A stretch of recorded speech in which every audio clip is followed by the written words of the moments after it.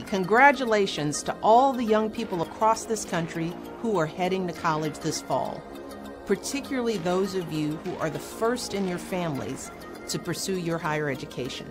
I am so proud of you because as a first generation college graduate myself, I know it isn't easy to get to this point.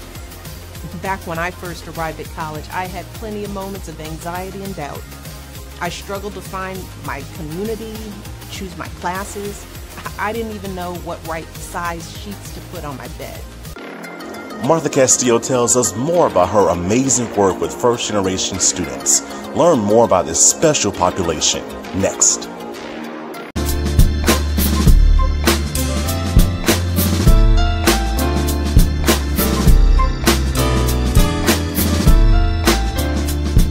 Hello, everybody. Welcome to the Michael Finkley Show. I'm Michael Finkley. Today is Monday, September 21st, 2020.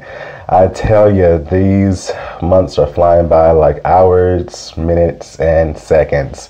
What have you done to be productive during this time? Mm, Self reflection.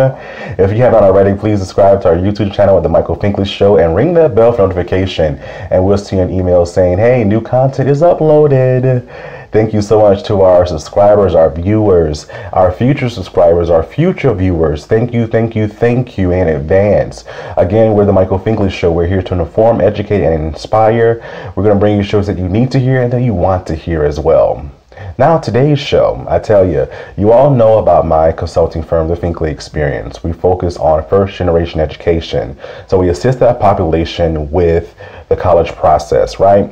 So I'm always interested in knowing persons that are doing similar things as I'm doing.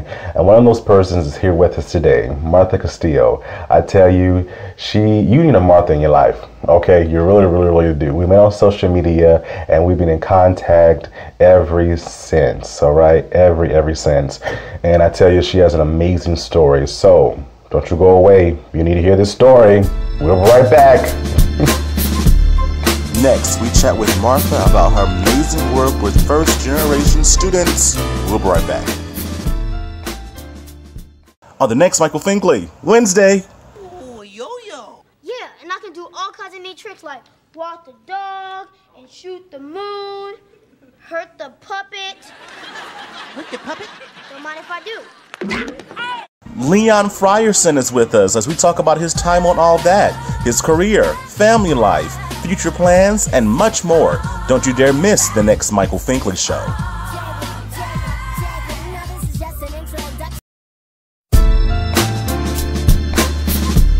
Hello, everybody. Welcome back to the Michael Finkley Show.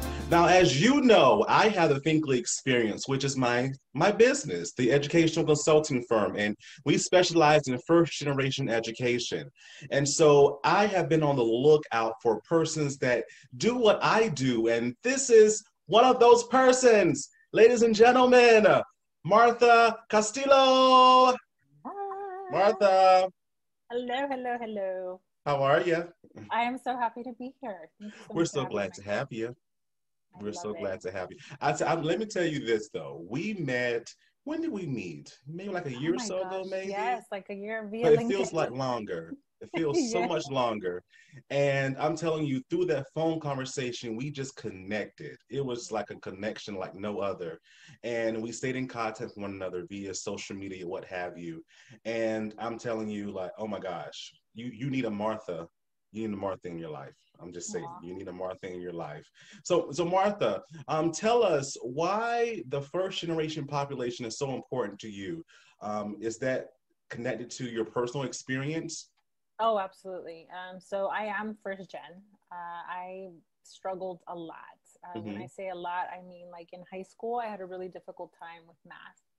Um, I spent six years in community college, um, and come to find out, I think it was actually my fifth year that I found out I had a learning disability, and that's why I had struggled so much in high school. Mhm. um, it was sort of like an epiphany for me that I didn't have the support that I needed at the high school level. Um, and I just kept thinking, man, if, if this happened to me, like imagine all the other students that are being left behind or struggling. Um, so it just sort of turned into a passion of mine where it's like, I, I have to do something. If this happened to me, I have to make a difference. Mhm. Um, it felt like a responsibility. Um, but it also felt like a huge weight was lifted from me. Um, and it just kind of led to multiple things in my life. So, one is that um, I finally graduated. so, I transferred to my undergrad program. Um, I majored in public administration. I was working at in corporate, um, it's a private utility here in, in SoCal and loved it. Did that for six years and then realized very quickly that I just the cubicle life was not for me. Mm-hmm. Um, and during that time, I was volunteering with at risk youth. I was working with kids in the juvenile justice system. I was mentoring them. I was also mentoring uh, kids in the foster care system through CASA. I was a court appointed special advocate. Loved it. Um, and then realized, man, I'm in the wrong profession. So I applied for a teaching fellowship that appeared on idealist.com, got it, moved to New York, and uh, was part of the NYC Teaching Fellows program loved every minute of it. Was a special education teacher in the Bronx. Um, did that for three years. Missed my family. Moved back to LA, um, and I worked here as a college readiness counselor for current and former foster youth. Did that for three years, and then opened my business in 2018, around the same time you started. I know, which is so crazy. yeah, and so I know through your many um, jobs and positions, your nine to fives back in the day. Uh, what did you learn more about the first generation population? Because yes, we're first gen, but I feel like we don't learn more about you know the circumstances or what have you until we start working in it. So what did you learn? Oh yeah. One one thing that I that I learned very quickly is that even though you have support and resources, mm-hmm you're not quick to use them. So, you know, I've noticed a lot of kids are saying, you know, students would say, oh, yeah, you know, I have this person that helps me, but, you know, I really don't, I don't want to ask them for help. Or mm-hmm. they hesitate. There's that hesitation, that feeling of you're imposing on somebody else, or that fear of, you know, they're going to say no, or, um, it's it's very interesting because I found this in every population, whether it was foster youth, current, former foster youth, where it was even just first gen that had a family, were living with a family, but they're like, ah, I don't want to, I don't want to bother anybody, and it's like right. you're not bothering anybody. They're there right. to help you. Come to me, tell me. and it's just it blows my mind. But at the same time, Michael, I realized, man, that was me. Like that mm-hmm. was me. I was in community yeah. college six years and I never asked for help. I never said, Hey, oh, somebody look at me. like, oh, how did you make it through? So not until I was on probation uh, for like the I think it was the third time. Um, I literally went to another community college to get help because they had a program that was like a, a math course that was split up into two, into four parts, and mm. I still did not make it. Finally, a counselor brought me in and said, "Hey, um, this is not working. Like, what is, tell me what's happening in your transcript. Clearly, you're doing great in all your classes. You're almost done, but you can't pass math. Mm-hmm. And then that's when he said, Have you ever heard of something called dyscalculia, which is a disability in math? I said, No. He's like, Okay, we're uh-huh. going to sign you up to take a test in disabilities office. I went, took like a three hour test. Come to find out, I had a learning disability in math ever since I was probably in elementary school to be honest with you i would think back and i'm like man i always struggled with like counting money and mm-hmm. that's all part of it Mm-hmm. So that's what literally took me to education and brought me here. Wow, that's amazing. And I'm so glad you said that because I, re- I realized about myself over the years that even though I majored in English, I've taught it as well. Uh, I'm really good at it because my students really get it. I have a problem in English. Really? Yes, because when I grew up, I hated to read. I was one of that. I was that student where I hated my voice. I would mess up words. Okay, and, wait, wait. You hated your voice? Oh yeah, Michael. Oh yeah, I hated my voice. Oh yeah.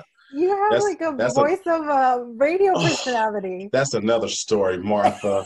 I hated my voice, and then I would mess up words, and students around me would pick at me, and so I'm like, I don't want to read. I don't want to read. I don't want to read, and I would uh, type so quickly and write so quickly I would switch my words. Oh you know, and I still do that present day. So I really have to take my time and read for understanding. Really read for understanding. And I realized that about myself a few years ago. I'm like, oh my gosh, but I was never diagnosed properly. Exactly. But you know what's funny? There is actually a book that actually opened my eyes to the benefits of having disadvantages, as oddly as that may sound. It's a great book by uh, Malcolm Gladwell. Um, mm-hmm. It's called, oh my gosh, uh, I have to think of oh David and Goliath. Literally. Okay. I think I've heard of Uh, that. yes, and he talks about how multiple people, some of the most successful people, have learning disabilities, and it has to do with just like you said, you know, you struggle with it, so you have to figure out how to compensate. You figure out a way like this. I got. I have to figure this out. How am I going to make it mm-hmm. right? So really looking at our disadvantages is advantages because you're looking at different ways to have to figure out how to do something. That's what probably happened to you. That's how you became so good at English. Now you can't say that for me because math, I'm still horrible at it. I still count with my fingers, but I figured it out. Don't we all? Maybe some toes in there too. yes, whatever it takes. Yeah. Um, Martha, ask answer me this question. So, um, when it comes down to this population, the first generation population, um, do you think that we're getting noticed even more so when it comes to education and even in the professional arena? Oh my gosh, yes. Um, it's funny you mentioned that because now more than ever, I'm seeing more like podcast uh, support services specifically geared to first gen. But here's my theory, and you follow, you tell me what your your thought process is with this. Okay. So I don't know if you remember thinking, but whenever I think it was like 1997, 96, when at least in California, I know we were trying to push affirmative action. It's being a big issue in California. It does not exist, but the whole idea behind that is, you know, you don't want to identify people as color as having, you know, needing additional services. So what I realize now is when you look at the first gen population, the vast majority of those students are us, people of color. Mm-hmm. And I realized very quickly that it was sort of a way to not have to say that it was for people of color or to support those that need additional services like myself. I needed it. You know, my parents didn't go to college, but they're also people of color. So not only were they immigrants, but hey, guess what? They didn't go to college. So how can they help me or how can they provide guidance to me? So that's one of the things that I've started to see. You know, when I look at the first gen population, the vast majority of them are also people of color. Um, Yeah. And it's something that to me is very near and dear to my heart because I realize that those are the populations that need more support than ever. Um, so that's why I think for me now we're starting to get noticed because they're Mhm. starting to identify it's sort it's the same thing, Yeah. right? If you think Yeah. about it, so Yeah, definitely. And it's so it's so amazing that you say that as well because we have organizations out there that will assist first generation students, um, especially in the endeavor going to college. We have Trio, we have Gear Up. What do you think about those organizations? Oh my gosh, I love them. Um, in fact, I remember thinking, well, actually, I was always applying Mhm. Trio or Gear Up because I thought it was such an amazing program. Um, and there's a few more. I know here in California, we have what's called the Guardian Scholars Program. So that's for foster youth also. That's on most UC community college, Cal State campuses, um, just to support foster, current and former foster youth. So I think in terms of like support systems, there's so many amazing programs now that are coming out that are there to support first gen students um, in so many ways. And it's just a matter of connecting our students with those programs. Um, yeah. And not, and really, I think it's eliminating that fear of, you know, feeling like they're bothering anybody or Mhm. I don't know what it is. I wish I could like pinpoint what it is that that impedes them from from seeking that help. Yeah, I had that um that thinking too. Didn't want to bother anybody, but then I had the the thinking of I didn't know. yes. I didn't know what to ask. So how could you help me if I didn't know how to help myself?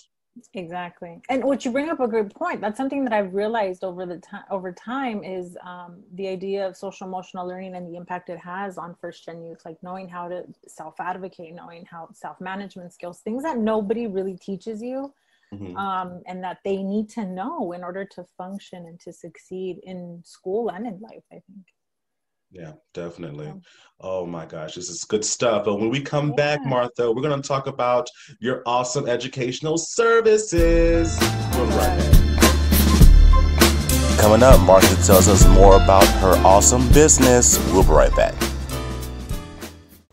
The Finkley Experience is a education and consulting firm that specializes in first generation education. We assist parents and their students with the college process. We train school administrators and we also partner with colleges and universities to assist with their first generation population. To learn more about our consulting firm and to purchase our book and workbook, please visit our website at thefinkleyexperience.com.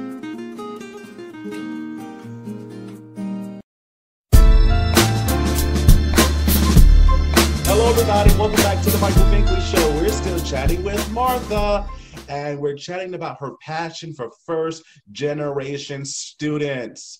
She's one, I won, you're probably one. And again, we all had to sit together. I describe this population as a club, right? Mm-hmm. A lot of people can't get in. You know, mm we're exclusive. We're yes. exclusive, and I and I love it. So, so Martha, you have an awesome, awesome business. Could you talk about your business for us, please? Absolutely. So, it the name of the business is Seeds of Grit Educational Services, um, and I always like to talk about where that came from. Um, yes, please. I love the name. so, grit is something that I realized is what I needed, what I had, what actually pushed me through completing everything that I've completed in life, that that tenacity to just keep going even when things got really tough. Um, so for me, that that word meant so much, and it's signi- it's significant because I feel that a lot of our students have that. A lot of first gen students have that grit because if we didn't, then we would never be able to accomplish anything. Right? There's a lot of obstacles that we need that we will face, and those are inevitable.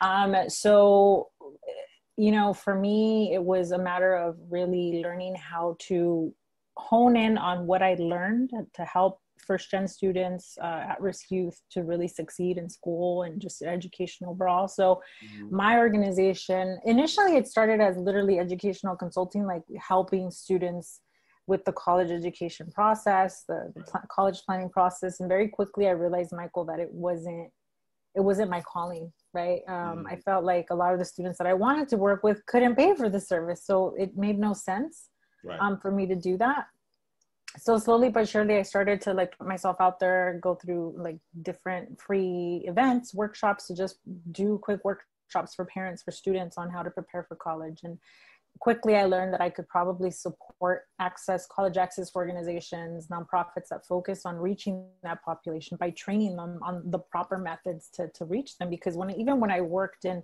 the nonprofit sector um, at a college access for foster youth, I realized that there were certain things that we didn't know.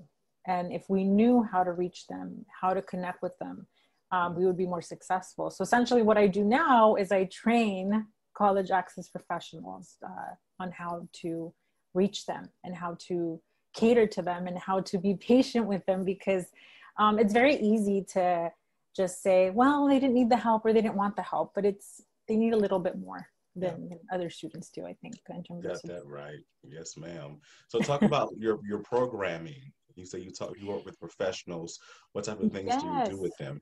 So a lot of what I covered, to be honest with you, it's I just completed one uh, with the local college access nonprofit in, in Bakersfield, um, and it was a virtual training for a lot of their AmeriCorps members. Uh, that wow. were going to be mentoring high school students um, at, at the local high schools. So, you know, COVID hit and mm-hmm. we went virtual. So I did a two-day training. I trained them on basic, you know, social emotional learning uh, techniques that would help uh, to reach them and coaching and mentoring techniques that have been tried and true that I've used. Um, I train on things that I know and that I know that work. So that's that, that that's always helpful. Mm-hmm. Gotcha.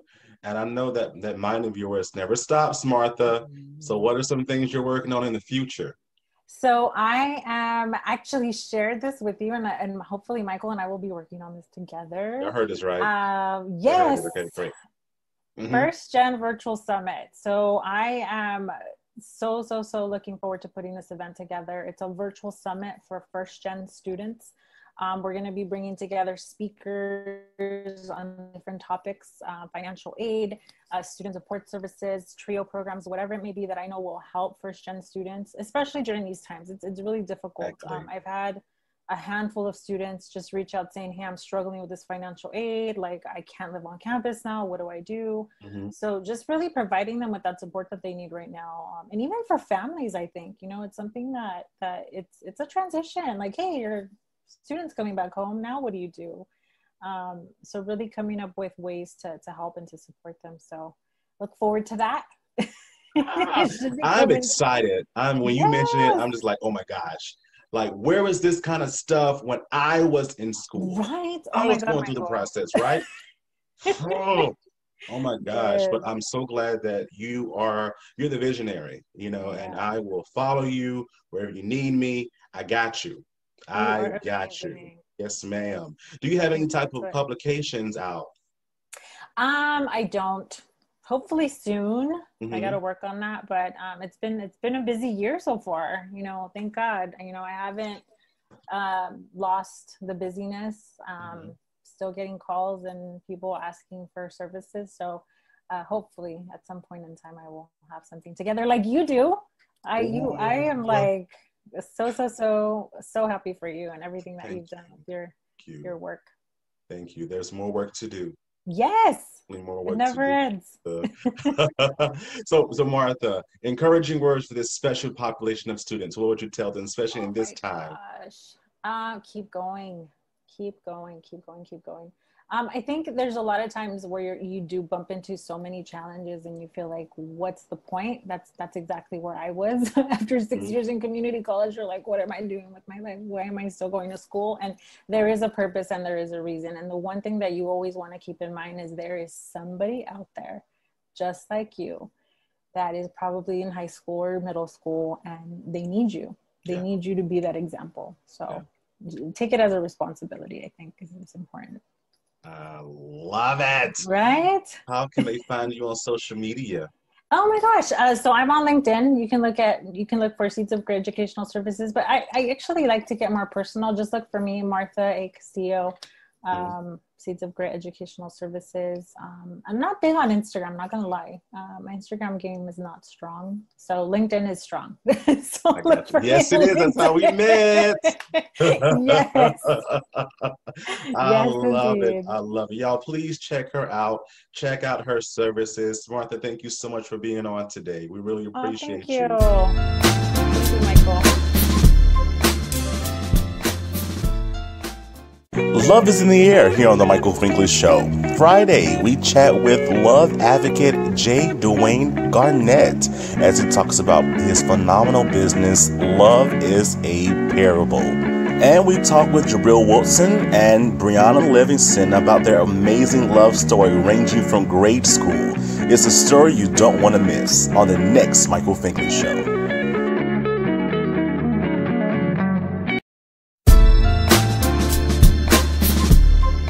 Hello, everybody. Welcome back to the Michael Finkley Show. Thank you so much, Martha, for being on today. What did you learn? Mm-mm. Leave me in the comments below and let's have a conversation. I'm telling you, we've never met face to face, Martha and I. I'm here in South Carolina and she's all on the West Coast in California. But I'm telling you, thank God for technology and thank God for cell phones. We always keep in contact with one another. And I tell you that when she was telling her story, she said some things that I never heard from her before about herself and her story. And so it's amazing that, you know, we're in this category of first generation and we are stories, even though they're very unique in style, but the circumstances at times are similar, you know, the guidance, the lack of guidance, resources, all that kind of good stuff. So again, thank you for sharing. I hope that someone else is inspired out there as a first generation student to make it, all right, to make it. There are a lot of famous you know, first generation students that have made it. Look at, you know, President Barack Obama, Oprah Winfrey, First Lady Michelle Obama. I'm telling you, they made it. All right, they made it in their own right. So I'm going to do it, and you're going to do it as well. Again, Martha, thank you, and be on the lookout, y'all. Me, Martha, and other people, we're going to form this awesome, awesome thing for this awesome, awesome population of students. But be on the lookout. I'm telling you, be on the lookout. On the next Michael Finkley. Now, you, remember the show All That, right? all that. All right. I was young. It was a great show on Nickelodeon. At the time, they call it Snick at night, right? You watch all that. Kenan and Kel, my brother and me. Well, we have Mr. Leon Frierson with us from the cast of all of that. He's going to tell us what it was like to be on the cast of all of that, you know, life after all that, what he's been up to now, family, all that kind of good stuff. He lays it down on the line. So Wednesday is a show you don't want to miss.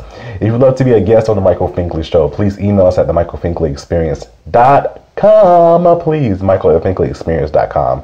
And we'll be in contact. Again, if you have not already, please subscribe to our YouTube channel at The Michael Finkley Show and ring that bell for notification. We'll send you an email saying new content is uploaded. Thank you so much for watching, and we'll, we'll see you. We'll see you on Wednesday. Have a good one.